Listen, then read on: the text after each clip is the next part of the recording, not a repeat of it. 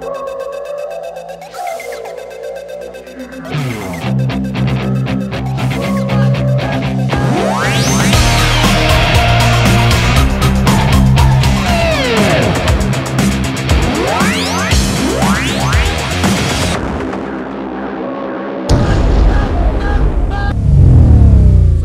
my guest tonight, if you don't know him, if you haven't heard of him, you need to really get out there.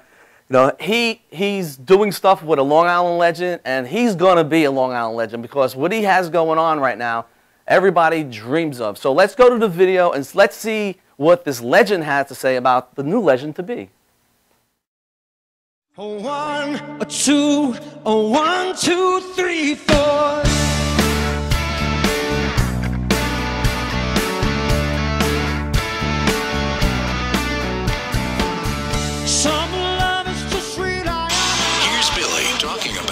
Members of his band. The new guy, Mike DelGuidice. This guy's in a Billy Joel tribute band called Big Shot. We had the Big Shot do a sound check for us once. So I go backstage while they're doing this, and I'm hearing this guy singing. I said to one of the road crew, "Oh, they're playing a tape." No, that's that band Big Shot. I said, "No, it's not. I know my voice. That's me. That's a tape." And then it was this guy singing. He plays guitar, plays keyboards, sings harmony great. It's almost as if I'm harmonizing with myself. I asked him to be in the band, and I'm having a good time watching him see what's going on because he just did a quantum leap.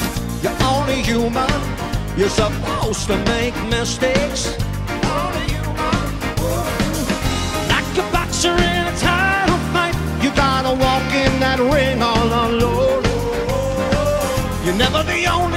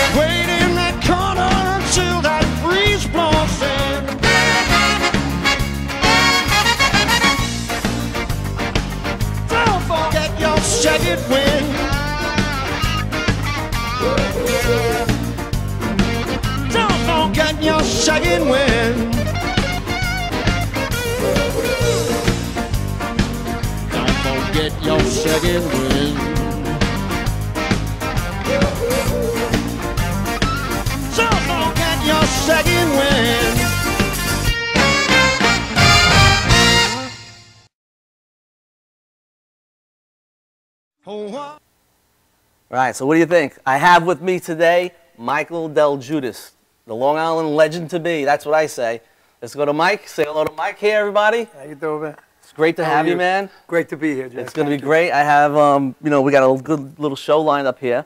I know you've been everywhere. You've been, um, you've been on NBC, you've been on News 12, you've been in the New York Times, Newsday, the, the Today Show, but now you're on Rock and Ink MC. I'm happy to be here. we could talk about things that they didn't want. They just want to know about the Billy Joel thing. We, Right. We're going to talk about that, but we're going to talk about everything else because Oh, good. a lot of people go to see you, they go see Big Shot, and they don't know much about about Mike. Right. You know, I know some things about Mike, and I hope I have most of them correct. We're gonna find out tonight. All right, but um, good, good. um, I, I'm trying to I try to do the best I can and do some research, and I like to bring out things to people and let them know, you know, what they got here and what what you go through because it's not as easy as people think, right? Right. It's- It's, not an easy thing. Absolutely. So I want to go and um, I'm going to start back. Not when you were in diapers, but I'm going to go back a little. All right. Okay. So let's um, let's go back. I have a picture. Let's bring up the kids' gloves. All right. So I have a picture of kids' gloves. It's kid gloves right there, Kid right? gloves, yeah. So in kid gloves, I know Pete. Yes, right? Pete So yep. I put a square up around Pete and I put a square up around you.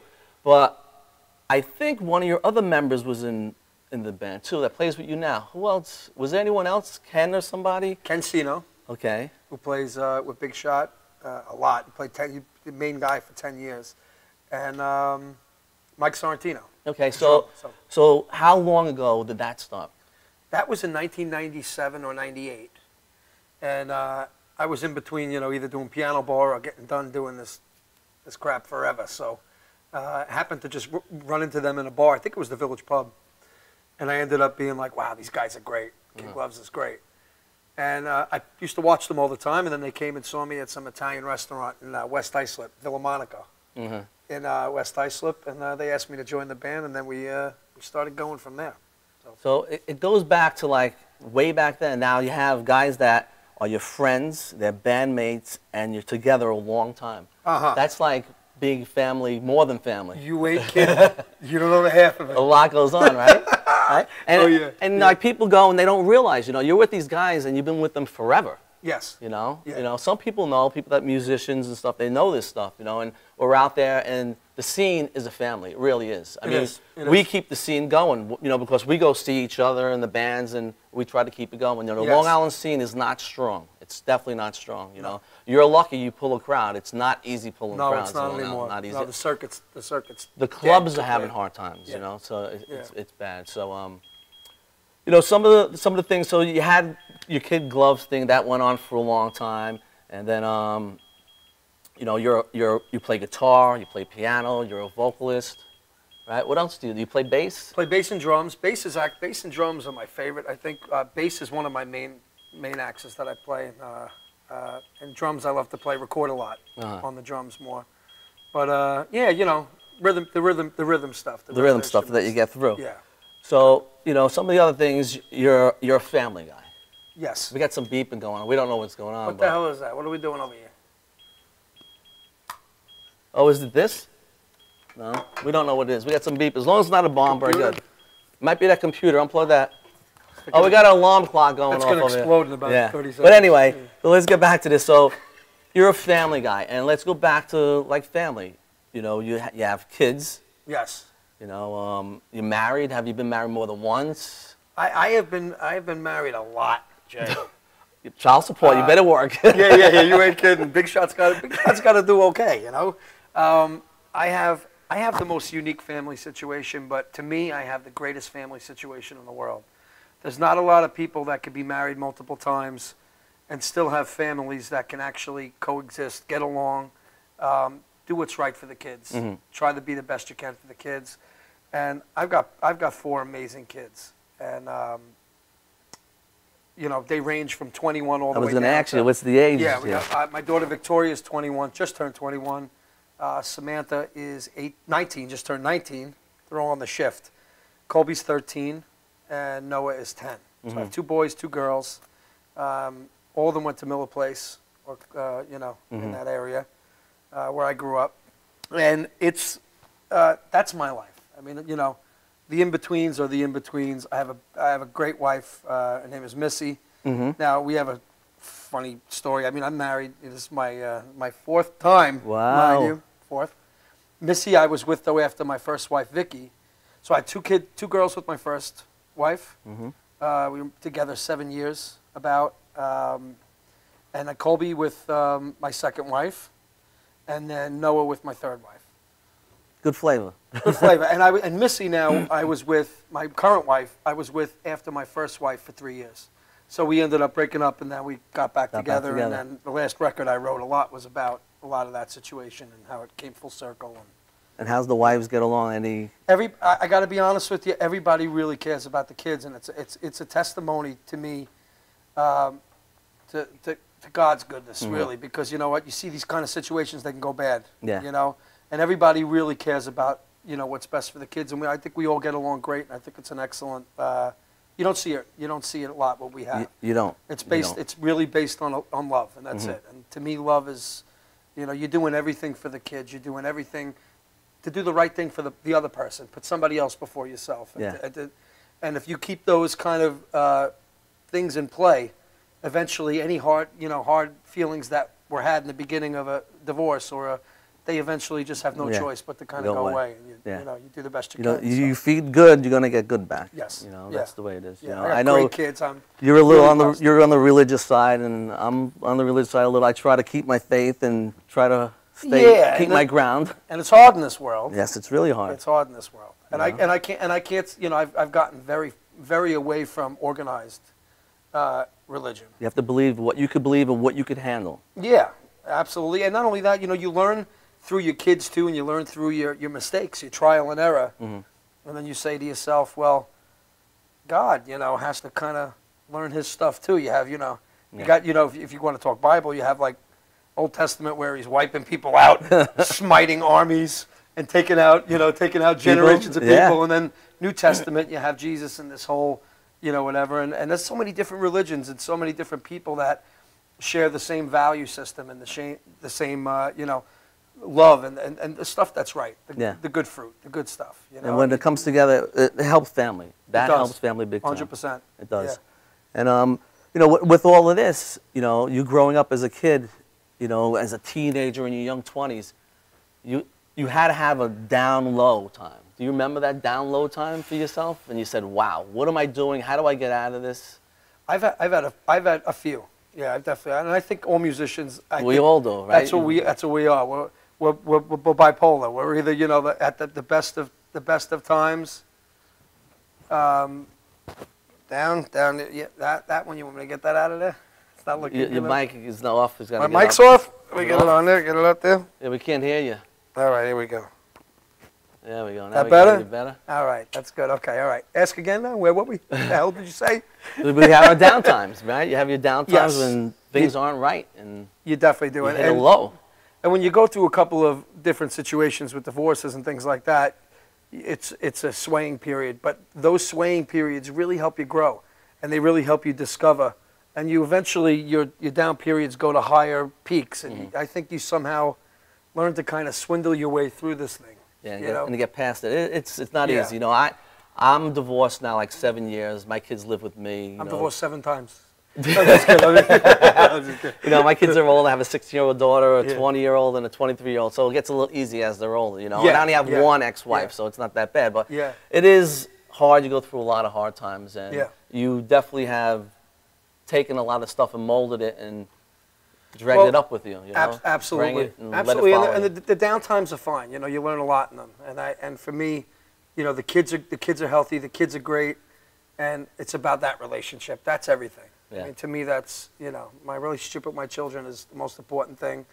And I have a really great supportive wife, and it, you know, so it, it all helps. Talk to, about you another know, short situation. thing here with Mike, and um, this is a story that I know, and I think it's a true story. So I want to try to see if I can get the story right with Mike. So back in um, probably 2000, um, Eugene's Rough Cut. He's laughing. Really? Village Pub. Here we go. All right. Um, Roll the dice. So I was actually playing in the band at that time. Eugene pulled me in the band. He had a problem with his drummer, and I used to play with the original Rough Cut back in the days when Eugene used to sing. So, Okay. Eugene- well, like almost, the Hendricksons are like family to me. Okay. You know, Yes. you could kill some of them, you could keep some of them, right? Yes, yes. and the Hendricksons are everywhere, just like they said, right? Yes. The Hendricksons are everywhere. But anyway, we did a few gigs there, and Eugene was like, "I'm going to play the drums, and my friend Mike's going to come up and play Billy Joel because I want him to start a Billy Joel band." Now, did this start around that? No. Okay. No, it didn't. But um, Gene was a part of it from the beginning for me. Okay. I went to Gene's house, and Gene at the time, I guess, wasn't wasn't doing much at the time. It was around 2000, and I said, "Look, I'm looking to do either a McCartney tribute band, or I'm looking to do something with Billy Joel. Are you interested in playing?" And he really wasn't interested in playing at the time. He was kind of like, eh, "I don't know if I want to play. I don't know, what you know, what I would do." Mhm. All of a sudden, he got involved. He's like, "All right, let's do it. Let's Let's, do it." try it. Let's do it. We'll book a gig at the Village Pub. We'll do our first gig at the Village Pub." And you know, I've known Gene a long time. I've known David a long time. I've known George a long time. The, the whole crew. Mm-hmm. And I love them no matter what. This is the kind of like no matter what. Yeah, I always Yeah. come back to saying, you, You know have what? yeah. Because I, bel- I, I honestly don't believe in, in holding resentment toward anybody. You're not always going to get along with everybody. You're not going to agree with everybody. Yeah. Um, and things, you know, at that time were very good, and we were good friends. And things happen. Yeah. It's it's you know it's life. It is what it is, and everybody sees things a little bit differently. Yeah. There's usually three sides to every uh, every story. So, uh, but I had went to him because to me, I had started this. I recorded with Doug Stegmeyer back in 1994, uh, 93, 93 to 95. We did a whole record together. At the end of that record, Doug Stegmeyer died. At the end of the record, about a year before that, I got together with Doug and I said, "Look, I'd like to go out. I'm already doing piano bar. I was doing piano bar for a lot of years, doing the Billy and the Elton and all that stuff." And I said, "I'd really like to get together and do it as a band." So me, Doug Stegmeyer, and Phil Weiss got together at Doug's studio and we started rehearsing this Billy Joel band. Mm-hmm. Doug died, committed suicide back in '95. The whole idea of the Billy thing at that point kind of took a dive. Uh-huh. I got involved with Kid Gloves after that. When it came down, when Kid Gloves ended, I needed something to do. I was either going to go back to doing piano bar, or I was just going to kind of try to do something else, just write music and get a day job. And then I said, you know what? I was doing the, the, the Billy thing with Doug, and it was with it was authentic. It was with Billy's actual bass player. I said, you know what? Let me try something up again. And I had heard that, you know, Gene was, you know, back in good form. Uh-huh. Let's just say, Yeah. you know, and it was a good time. And we had gotten together and we did Nobody's Children Uh-huh. back when I was 20. You know, like 20 years old, me and Gene. So we'd known each other a long time. Um, so I immediately went to his house, and Gene has got a great business sense, and he's got a great. Am- he's ambitious as. He you can't. it. You can't. You Yeah. can't out ambition the guy. Yeah. He's just like you know when he gets involved with something, he puts 110 percent into it. And my idea was, you know what? I'm going to do a Billy Joel band. I'm shy. I'm not the guy that's going to go walking up to a club owner and be like, "Yo, yo." Da, da, da. Mm-hmm. I said, "You take care of the, you know, the business angle of it. I'll do what I have to do with this, and we'll make a, a thing out of it." And it went really well. It, it, it, went right off the map right, Right from the there. map. It, it just kind of took off. But it was originally it was me going to his house and just asking him, "Do you want to play?" yeah. I said, "I'm going to do something. It's either McCartney or it's going to be, you know." And at first he was like, "I don't think I, I don't know. I'm not, I don't know, Billy Joel." I, I remember you coming to the club and dragging your stuff up there and doing a few Billy Joel songs, and Gene would jump on the drums, and it was yeah, like which we used to do with. Nobody's Children too. Yeah. Uh, That was the, the beginning of Nobody's Children. Was I, what I can remember was me, Teddy Rondinelli, Rob DiMartino, and Gene. It was a, it was basically a, a, a four piece. Four piece. And I would play the Billy Joel stuff, and then Teddy would go off and do whatever, and then and then before you know it, everybody got involved, and George was immediately involved, and George just you know ended up covering most of, Most of it. you know what ended up happening, and then that band. You know, did what it did. Yeah. You know, I was I was at the forefront of that little, uh, the beginning of that. You know, So that project. that's the birth of it all. Really, that's, the birth. That was the birth of it all right there. And we went headstrong for you know a couple of years. Mm-hmm. So that's what I wanted to get to. Where did it birth it from, and you know, where did it come from? You Yeah. because a lot of people don't really know, and Yeah. they don't even know it's been around this long. I mean, you know what it was? It was the doing. The, I did piano bar for 13 years, and it was I was known for doing Billy. So Mm-hmm. it was one of those. I could either make this a band now, or I could just continue to do piano bar, it, which that's I it. was done with. I Yeah. was kind of done with that. Yep. So. So did, did you ever think that this would get to this point, like back then? Did you ever imagine that you would get to the point that you're all, all right now with it? That even like you're at Mulcahy's and you're at the Emporium and you go out on that stage and you just see a packed house. Do you ever think, you know? Not, you know what? I, I'm a one day at a time guy, Jay. I, Mhm. I, I was born. I had I had a lot of issues, kidneys. I was sick. I had a lot of problems physically. So I, I never really. I always live every day like it's, Mhm. it was my last day. So I don't. I never thought that far. You know, to me it was wow. I'm playing guitar today. Hopefully I'll be playing guitar tomorrow. Tomorrow. And you know, hope you know. And then every day something would happen. And I, I really believe in that. You know, live day to day thing because if I think too far ahead, I'll stress out and fall apart. Fall apart. Yeah. I got. I have some pictures. I want to show some pictures of uh, Mike playing with Big Shot and also with Billy, so people, you know, can get an idea. If you don't know Mike, if you've never seen him, you know, here's a picture of him with Big Shot, and I think that was at one of the casinos. I think I have a few casino shots here. Yeah. Right, and um, Sure. where's that? yeah, I think they were at the casino, a few of them. Okay. Um, and I have one from your neighborhood, Yeah, Rocky, Rocky Point. Now look at that. yeah. I don't know how long ago that, but look at all those people outdoors. To, now, how do they? You know, that's a pretty big PA to outdoors, man, to fill that up. Yeah, you we finally got our guy. Scott LaRochelle came in, uh, SCL Sound from Connecticut, uh, Massachusetts actually, and he brought it. He flew the whole. You know, That's- it was. A, that's I said we need a PA for this. It's Yeah. going to be about five, six thousand people. I said we need, you know, the big deal. The big he came in and he. Now he this is you. Um, that's probably the Barclay Center, I think. And speaking of, like Mike played the Barclay Center, and I'm gonna go through some of this also. But that's Barclay Center was New Year's, and Best.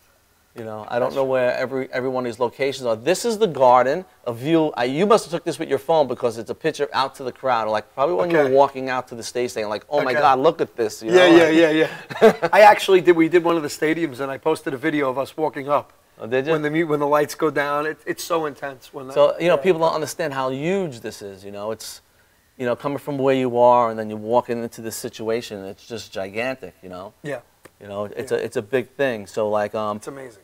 you know, so your story goes that you were, you were asked by um, Tommy Byrnes, who was the guitarist of Billy Joel, right, to come and sit in for rehearsals. I guess to give, they, the band I think wants to rehearse, but Billy doesn't like to rehearse, right? Something like that. Yeah, I mean, I don't know if it's a like thing or a time thing, or you know, it's just one of those issues where it's a lot easier if the band is polished and he can just kind of walk in walk and do in. his thing.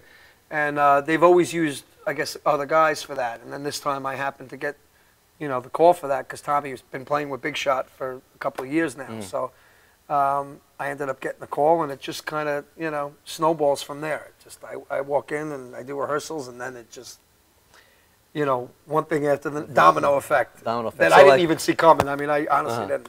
So you're, you're uh, some of the story is you're you know you guys are rehearsing at the Paramount here in Long Island, and um, one day Billy asked to talk to you. Did you like heart fall and like oh, oh why does he want to talk to me? Yeah, you know, you know what, you know what's great about having Tommy as a, as a really best friend is that he, he was able to give me some of the, uh, you know, like the morning of on the way to the Paramount. Hey, he just calls me out of nowhere and goes, "You got a passport?" And I was like, "Why are you asking me that question?" you know, like all of a sudden the, the wheels start turning. Turning. Maybe they need somebody to do this on the road.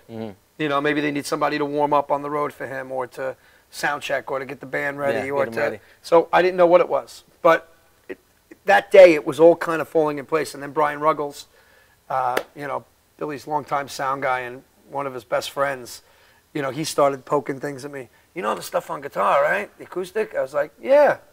He's like, all right, I'm not saying anything. And then he would walk away. Walk away. You know, so it was kind of being set up that morning, and I, I, I my nerves were just, you know, if you could imagine it. yeah.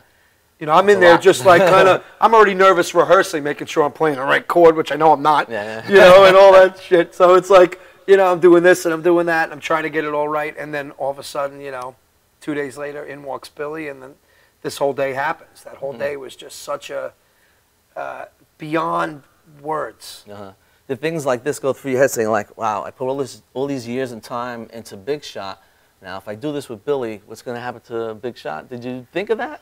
I did, I did, you know, and, I, and what I said. you put a lot of time into that. You say, Yeah, "Wow, I'm going to do this. Is this going to work for me?" And I'm going to lose that. nothing was ever successful for me growing Uh-huh. up. You know what I mean? In music, it was always piano bar and a hundred dollars here, a hundred dollars there, and struggling and having kids. You know, you got to make a living. Mm-hmm. So Big Shot was the first avenue that I ever saw that wow, I could actually earn a living and feed my family Mm-hmm. playing music, and it was always at Billy's you know expense in a sense. It Yeah. was his music, so. It was always such an honor to do that and be able to do that. That to, to, to, to have gotten to the point where I could just earn a living with that, I was happy when this all happened, it was a whole nother, you know, I just, you know, if you can imagine, oh, it's yeah. just mind-boggling. You know, It- well, there's there's a ton. The tribute bands are all over the place today. So like Yes. And every the time, they every weren't. tribute, yeah, at the time it was. But right now, every tribute band loves that fact. Like, wow, I, if I could sing with that band, or if I have someone in that band play with me, and here you are, you're actually with Billy doing it. You Yeah. know, so it's like beyond anyone else's dream or whatever is happening. I have Yeah. a few more You know? questions for Mike. I had a lot of questions, but there's never, never, never enough time. I just try to hit on some of the some of the good stuff. So.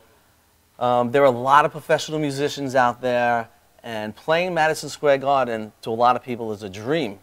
All right, playing the Garden a few times is even a bigger dream.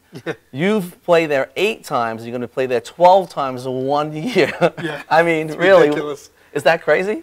yeah, it, it doesn't suck, it really doesn't suck. Like I was with. Tommy Henriksen last week. He's in Alice Tommy, Cooper. man. He's He's with Alice like five or six years now.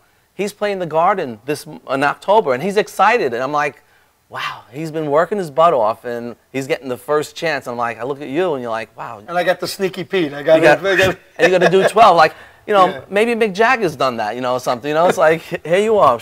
But it's great, you know, that's your hometown, right? Yeah, absolutely. And what was the first feeling playing the Garden?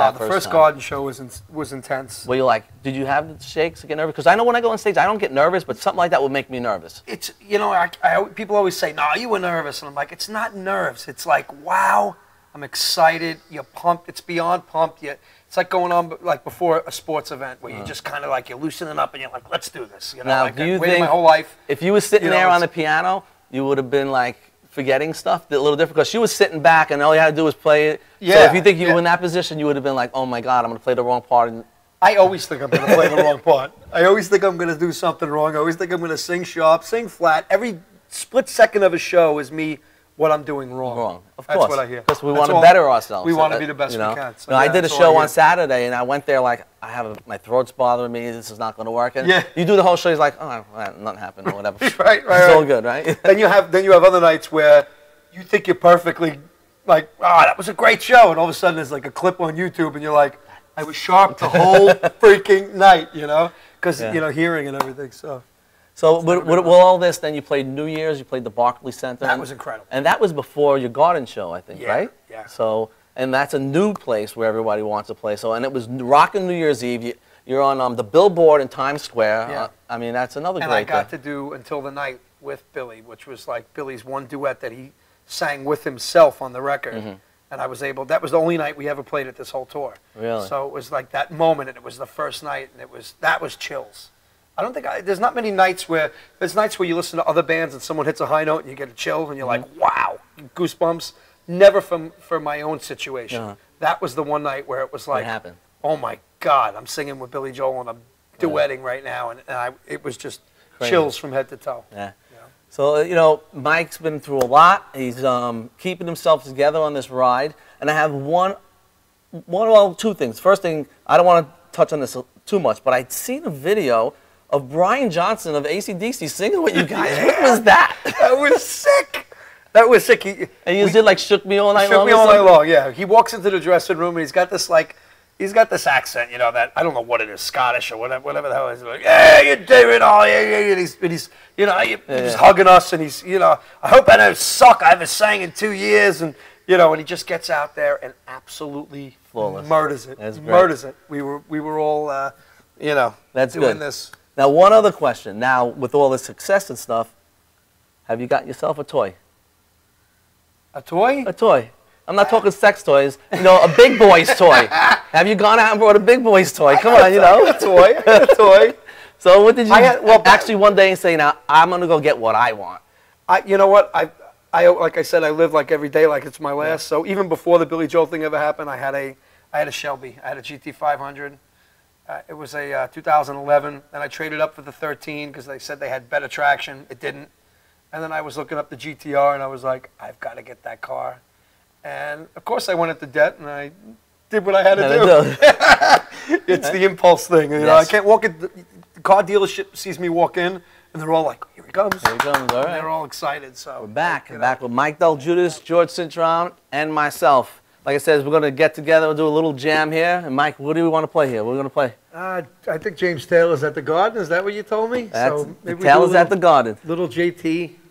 And, uh, George next to me here. He's gonna kill this one. I know it. So all right, a little fire and rain for you.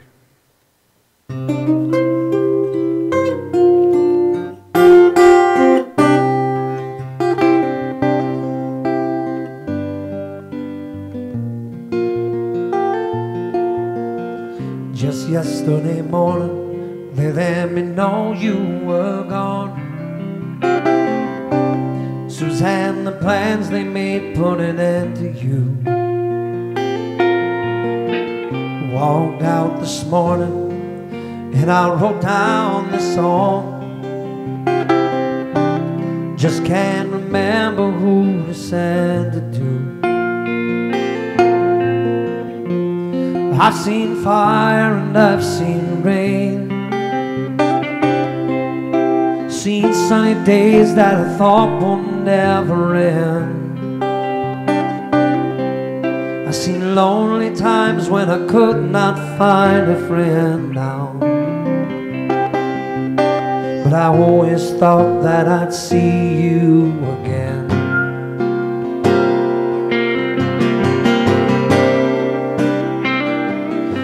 you look down upon me, Jesus?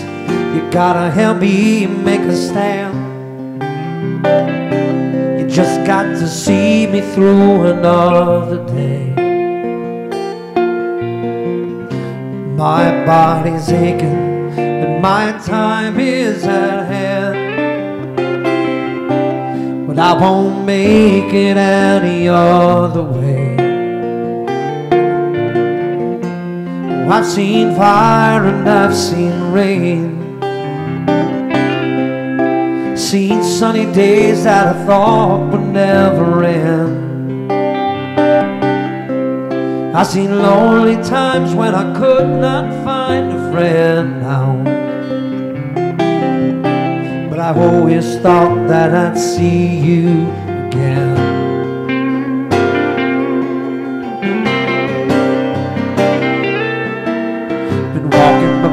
to an easy time, back turned towards the sun. God knows when the cold wind blows, got to turn your head around. But there's hours of time on a telephone line, talking about things to come. Sweet dreams and flying machines and pieces on the ground. Oh, I've seen fire and I've seen rain. Seen sunny days that I thought would never end. I've seen lonely times when I could not find a friend now. But I always thought that I'd see you, baby, just one more time again now. Thought I'd see you one more time again. There's just a few things coming my way this time around me now. Thought I'd see you, thought I'd see you, fire and rain.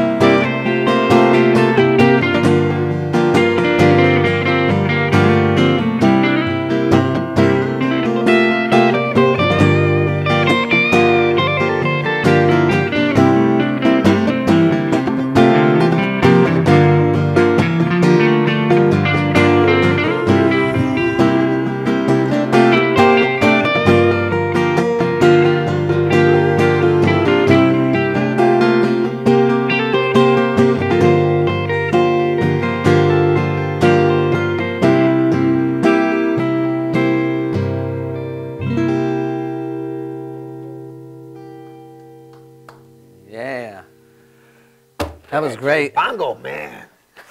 We had bongos here. I gotta get something here, right? What am I gonna do? It was great. Um, I, I, I think we have time for another one, but I would like Whatever to. you. got uh, anything in mind? I have nothing. you got It's your show. I'm the. Come on, you're I'm the the- man. I'm the Between the both of them, they probably know 5,000 songs. We can't figure out one, right? Uh, I don't know all the words. They have the stuff that I, that I want to play. Let's see. Uh, little Beatles. Sure.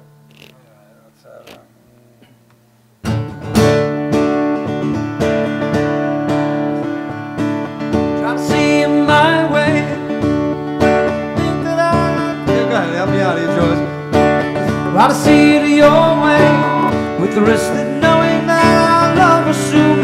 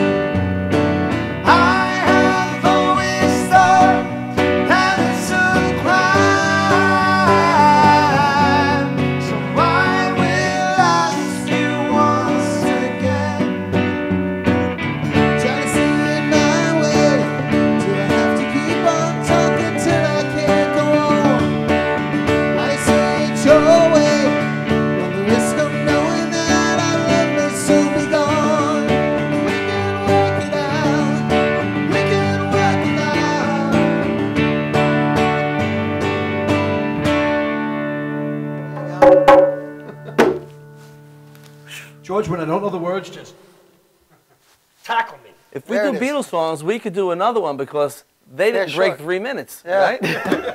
That's true. A lot of them didn't. we do have a few minutes. Yeah, we we, we can one short one, quick. You can play us out and you can take us out, all right? You can play us right out when we're done, all right?